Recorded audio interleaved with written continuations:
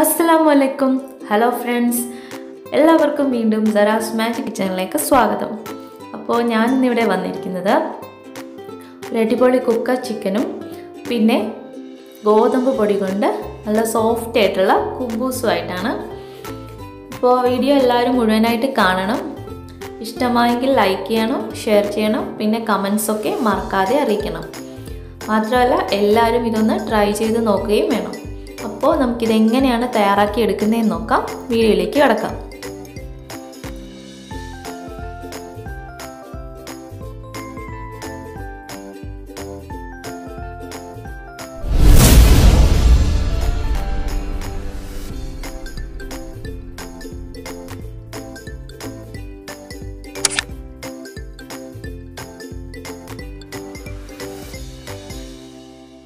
ഇതിലേക്കായിട്ട് ഒരു ഫുൾ ചിക്കനാണ് എടുത്തിരിക്കുന്നത്.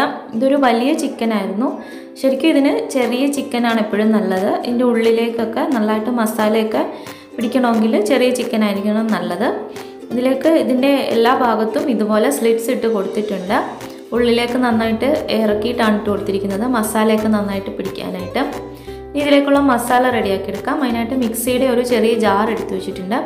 അതിലേക്കൊരു രണ്ട് ടേബിൾ സ്പൂൺ മുളക് പൊടി ചേർത്ത് കൊടുക്കാം. കാശ്മീരി ചില്ലിയാണ് ഞാൻ എടുത്തിരുന്നത്. ഇതിലേക്ക് വേണ്ടത് ഒരു ടേബിൾ സ്പൂൺ മല്ലിപ്പൊടിയാണ്. പിന്നെ രണ്ട് ടേബിൾ സ്പൂൺ ഇഞ്ചി വെളുത്തുള്ളി പേസ്റ്റ്.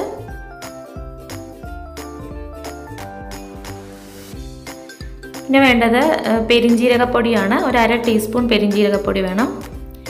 പിന്നെ അര ടീസ്പൂൺ കുരുമുളക് പൊടി. പിന്നെ അര ടീസ്പൂൺ മഞ്ഞൾപ്പൊടി. ആവശ്യത്തിനുള്ള ഉപ്പും കൂടി ചേർത്ത് കൊടുക്കാം. ഉപ്പ് നോക്കിയിട്ട് കൂടുതൽ കുറവ് വേണ്ടതിനനുസരിച്ച് ചേർത്ത് കൊടുക്കണം.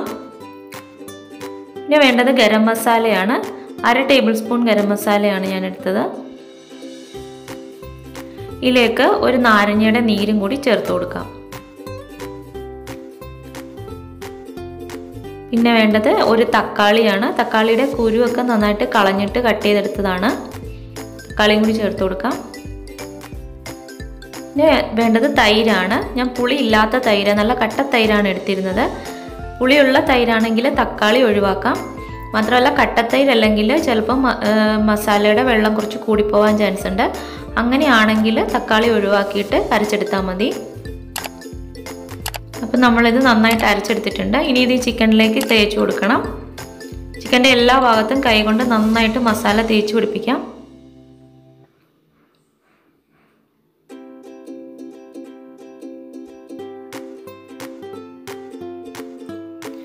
നമ്മൾ ചിക്കന്റെ എല്ലാ ഭാഗത്തും നന്നായിട്ട് മസാല തേച്ച് പിടിപ്പിച്ച് കഴിഞ്ഞാൽ അതിന്റെ ഉള്ളിലേക്കും കൂടി കുറച്ച് മസാല തേച്ച് കൊടുക്കണം.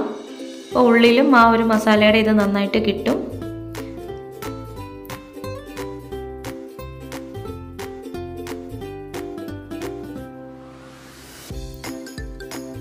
ഇങ്ങനെ മസാലയൊക്കെ നന്നായിട്ട് തേച്ചെടുത്ത് വെച്ചിട്ടുണ്ട് ചിക്കൻ. ഇത് നമുക്ക് ഫ്രിഡ്ജിലേക്ക് മാറ്റണം. ഓവർനൈറ്റ് വെക്കുവാണെങ്കിൽ അത്രയും നല്ലത്. ഇല്ലെങ്കിൽ ഒരു മിനിമം നാല് മണിക്കൂറെങ്കിലും നമ്മളിത് ഫ്രിഡ്ജിൽ വെക്കണം. അപ്പോഴേ ഉള്ളൂ മസാലയൊക്കെ നന്നായിട്ട് പിടിക്കുകയുള്ളൂ ചിക്കനിലേക്ക്. ഇനി കുബൂസ് ഉണ്ടാക്കാനായിട്ട് തുടങ്ങാം. അതിനായിട്ട് ഒരു അര കപ്പ് ചൂടുള്ള വെള്ളം എടുത്ത് എടുത്തിട്ടുണ്ട്. അതിലേക്ക് ഒരു രണ്ട് ടേബിൾ സ്പൂൺ പഞ്ചസാര ചേർത്ത് കൊടുക്കാം.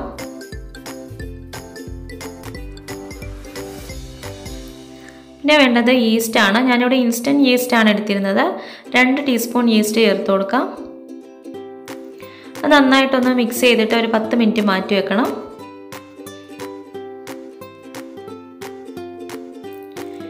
ഇതിലേക്ക് ഗോതമ്പൊടിയാണ് എടുക്കുന്നത്. ഞാനൊരു മൂന്ന് കപ്പ് ഗോതമ്പൊടി എടുത്തിട്ടുണ്ട്.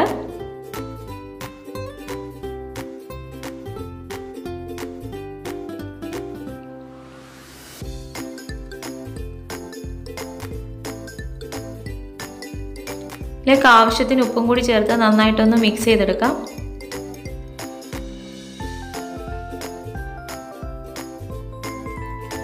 ഇതിലേക്ക് നമ്മൾ നേരത്തെ എടുത്തു വെച്ചിരുന്ന ഈസ്റ്റും മിക്സും കൂടി ഇതിലേക്ക് ചേർത്ത് കൊടുക്കാം. ചേർത്ത് കൊടുത്ത് നന്നായിട്ടൊന്ന് ഇളക്കി എടുക്കണം. എല്ലാ ഭാഗത്തും എത്തുന്നത് പോലെ ഒന്ന് ഇളക്കി യോജിപ്പിക്കണം. ഇതിലേക്ക് വേണ്ടത് സൺഫ്ലവർ ഓയിലാണ് ഒരു രണ്ട് ടീസ്പൂൺ സൺഫ്ലവർ ഓയിൽ ചേർത്ത് കൊടുക്കുന്നുണ്ട്. അതും കൂടി ചേർത്ത് നന്നായിട്ടൊന്ന് മിക്സ് ചെയ്തെടുക്കണം. ഇനി ഇതിലേക്ക് നമ്മൾ ഇളം ചൂടുള്ള വെള്ളം കുറച്ച് കുറച്ചായിട്ട് ഒഴിച്ച് ഇത് നന്നായിട്ട് കുഴച്ചെടുക്കണം. ചപ്പാത്തി മാവിനേക്കാളും കുറച്ചും കൂടി ലൂസായിട്ടുള്ള ഒരു പരുവത്തിലാണ് കുഴച്ചെടുക്കേണ്ടത്. വെള്ളം കുറച്ച് കുറച്ചായിട്ട് ഒഴിക്കാൻ പ്രത്യേകം ശ്രദ്ധിക്കണം. നമ്മൾ ഗോതമ്പ് പൊടി നന്നായിട്ട് കുഴച്ചെടുത്തിട്ടുണ്ട്.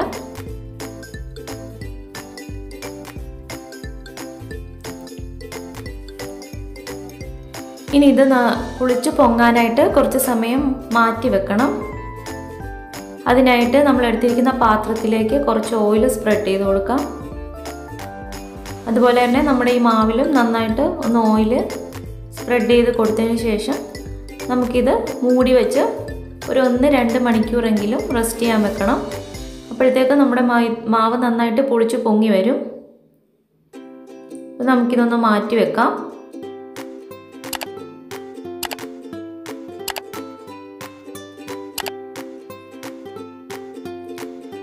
ചിക്കൻ ഒരു അഞ്ച് മണിക്കൂർ കഴിഞ്ഞപ്പോഴത്തേക്കും പുറത്തെടുത്തിട്ടുണ്ട്. ഇനി നമുക്കിത് കുക്ക് ചെയ്തെടുക്കണം. അതിന് മുമ്പ് നമുക്ക് ഈ ചിക്കന്റെ ഈ രണ്ട് കാലും കൂടി ഇങ്ങനെ ചേർത്ത് വെച്ചിട്ട് ഒരു നൂൽ ഉപയോഗിച്ചൊന്ന് കെട്ടിക്കൊടുക്കാം. അല്ലെങ്കിൽ കാലകന്ന് പോകും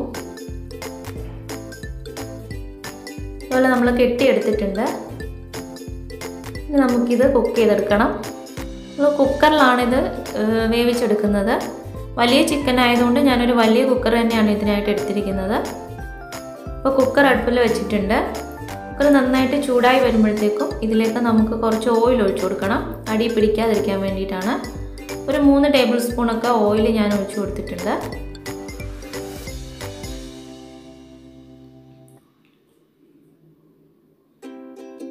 ഓയിൽ നന്നായിട്ട് ചൂടായി വന്നിട്ടുണ്ട്. ഇതിലേക്ക് നമുക്ക് ചിക്കൻ ഇറക്കി വെച്ച് കൊടുക്കാം. ഇതിൽ നമ്മൾ വെള്ളമൊന്നും ഒഴിക്കേണ്ട കാര്യമില്ല. കുക്കർ മൂടി വെച്ച് ആദ്യം ഒരു രണ്ട് മിനിറ്റ് മീഡിയം ഫ്ലെയിമിലിട്ട് കുക്ക് ചെയ്യണം.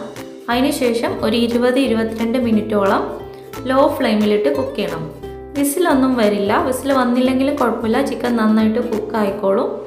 ഈ വിസിൽ വന്നാലും കുഴപ്പമില്ല. ഇത്രയും സമയം തന്നെ നമ്മൾ എന്താണെങ്കിലും കുക്ക് ചെയ്യണം. രണ്ട് മിനിറ്റ് മീഡിയം ഫ്ലെയിമിലിട്ട് കുക്ക് ചെയ്യണം.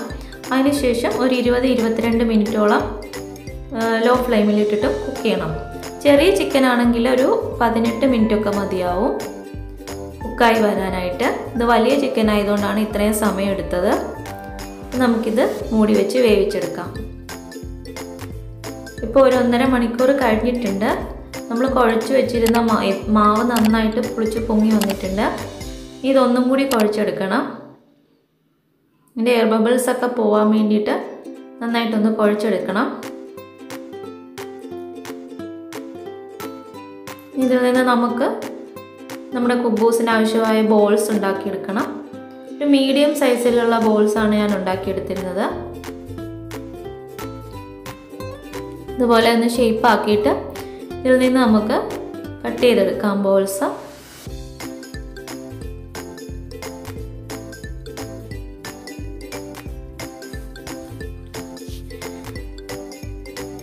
ഇതുപോലെ ബോൾസ് എല്ലാം റെഡിയാക്കി എടുത്തിട്ടുണ്ട്. ഇത് താഴത്തേക്ക് ഇതുപോലെ ഒന്ന് റൗണ്ട് ചെയ്ത് ഒന്ന് ഷേപ്പ് ആക്കി എടുക്കണം.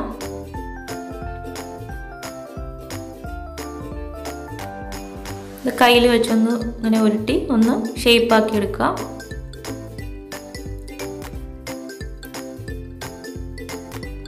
ഇതുപോലെ എല്ലാം ചെയ്തെടുക്കണം. എന്നിട്ട് നമുക്ക് പരത്തിയെടുക്കാം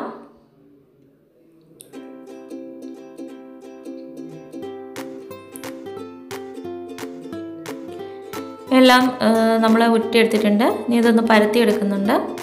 കുറച്ച് പൊടി തൂവിയിട്ട് വേണം ഇത് പരത്താനായിട്ട്. ചപ്പാത്തിയുടെ അത്ര നൈസായിട്ടല്ല ഇത് പരത്തുന്നത്. കുറച്ച് തിക്നെസ്സോട് കൂടിയാണ് പരത്തുന്നത്. എങ്കിലേ ഉള്ളൂ കുബൂസ് നന്നായിട്ട് കിട്ടുള്ളൂ ഇത് ഏകദേശം ഈ ഒരു തിക്നെസ്സിലൊക്കെ വേണം നമ്മളിത് പരത്തിയെടുക്കാനായിട്ട്. ഒരുപാട് നൈസായാലും നമ്മൾ ഉദ്ദേശിക്കുന്ന ആ ഒരു ടെക്സ്ചർ ഇതിന് കിട്ടില്ല. ഇതുപോലെ നമ്മളെല്ലാം പരത്തിയെടുത്തിട്ടുണ്ട്. ഇനി നമുക്കൊന്ന് ചുട്ടെടുക്കാം. നന്നായിട്ട് ചൂടായ പാനിലേക്ക് ഹൈ ഫ്ലെയിമിലിട്ടിട്ട് ഇതൊന്നിടണം ചെറിയ ബബിൾസ് വരാൻ തുടങ്ങുമ്പോഴത്തേക്കും ഇതിൽ ഫ്ലെയിം മീഡിയത്തിലേക്ക് മാറ്റിയിട്ട് മറിച്ചിട്ട് കൊടുക്കണം. രണ്ട് വട്ടം മറിച്ചിട്ട് കൊടുക്കുമ്പോഴത്തേക്കും ഇത് ചെറുതായിട്ട് ഇങ്ങനെ പൊങ്ങി വരാനായിട്ട് തുടങ്ങും. അപ്പോൾ സൈഡൊക്കെ ഒന്ന് പ്രസ് ചെയ്ത് കൊടുത്താൽ നന്നായിട്ട് പൊങ്ങി വന്നോളും. ഒറ്റ ഇതിൽ പൊങ്ങി വന്നാലേ ഉള്ളൂ. കുബൂസ് നല്ല സോഫ്റ്റ് ആയിട്ട് ഇരിക്കുകയുള്ളൂ ഇത് പൊങ്ങി വരാൻ തുടങ്ങിയിട്ടുണ്ട്. ഫ്ലെയിം മീഡിയത്തിലായിരിക്കണം. ഇല്ലെങ്കിൽ അടിവശം കരിഞ്ഞു പോകും. ഇത് നന്നായിട്ട് പൊങ്ങി വന്നിട്ടുണ്ട്. ഇതേ മെത്തേഡിൽ തന്നെ ബാക്കിയുള്ള കുബൂസും കൂടി ചുട്ടെടുക്കാം.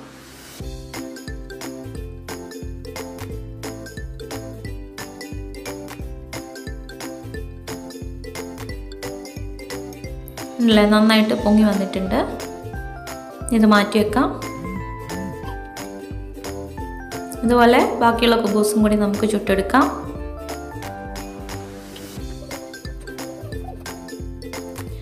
ചിക്കൻ നന്നായിട്ട് വെന്തിട്ടുണ്ട്. അതിലുള്ള ആവിയൊക്കെ കംപ്ലീറ്റ് ആയിട്ട് പോയിട്ടുണ്ട്. കുക്കർ തുറന്നു. ഇനി ഇത് നമുക്കൊന്ന് ചെറുതായിട്ടൊന്ന് ഫ്രൈ ചെയ്തെടുക്കണം. ഒന്ന് മൊരിയിച്ചെടുക്കണം അതിന് വേണ്ടിയിട്ട് പാൻ അടുപ്പിൽ വെച്ച് ചൂടാകുമ്പോൾ അതിലേക്ക് നമ്മൾ കുറച്ച് ഓയിൽ ഒഴിച്ചു കൊടുക്കണം.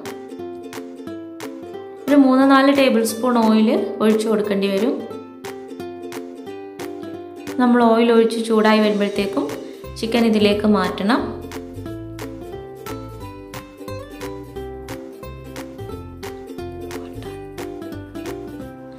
ചിക്കൻ ഞാനൊന്ന് എടുത്തിട്ടപ്പോൾ ചെറുതായിട്ടൊന്ന് പൊട്ടിപ്പോയായിരുന്നു. എന്റെ രണ്ട് കാലും ഒന്ന് വിട്ടുപോയി. വലിയ ചിക്കൻ ആയതുകൊണ്ട് വെയിറ്റ് താങ്ങാതെ വന്നപ്പോൾ അത് വിട്ടുപോയി. അത് കുഴപ്പമില്ല. ഇത് നന്നായിട്ടൊന്ന് മൊരിച്ചെടുക്കണം തിരിച്ചും മറിച്ചു വിട്ട് രണ്ട് സൈഡും നന്നായിട്ടൊന്ന് ഫ്രൈ ചെയ്തെടുക്കണം. അപ്പോഴാണല്ലോ കഴിക്കാൻ നല്ലൊരു ടേസ്റ്റ് ഉണ്ടാകുന്നത്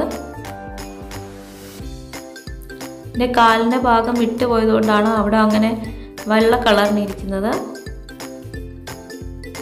ചിക്കൻ നമുക്ക് നന്നായിട്ടൊന്ന് തിരിച്ചും മറിച്ചു വിട്ട് കുറച്ച് സമയം നന്നായിട്ട് ഫ്രൈ ചെയ്തെടുക്കാം.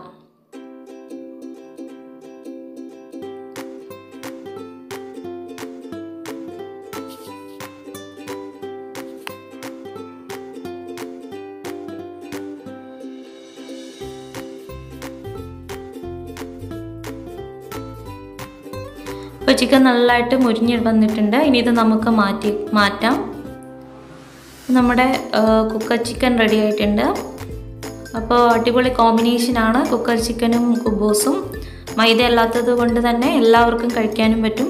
അപ്പോൾ എല്ലാവരും ട്രൈ ചെയ്ത് നോക്കണം. നല്ല ടേസ്റ്റാണ് കഴിക്കാനായിട്ട്. എന്റെ ഇഷ്ടമായെങ്കിൽ നിങ്ങളുടെ അഭിപ്രായങ്ങളൊക്കെ മറക്കാതെ അറിയിക്കണം.